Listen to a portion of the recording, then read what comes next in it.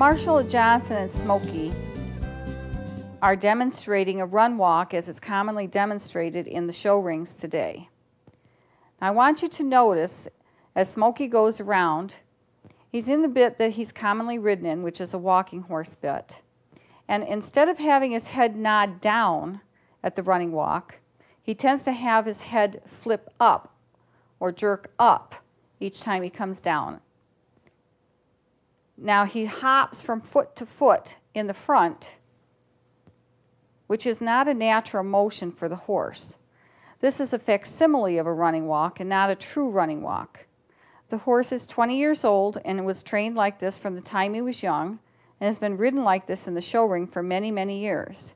We're going to show how this stiff and unnatural, may be showy, but it's a stiff and unnatural type of gait, can be changed up in just a few minutes, even on an old campaigner such as Smokey.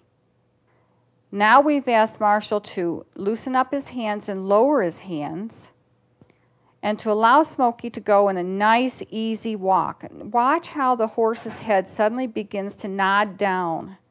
This is a correct form for a running walk horse.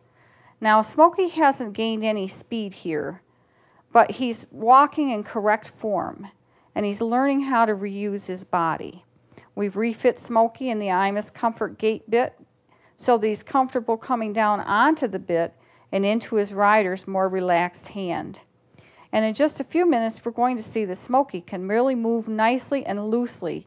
At 20 years old, he's been retrained in just a few short minutes.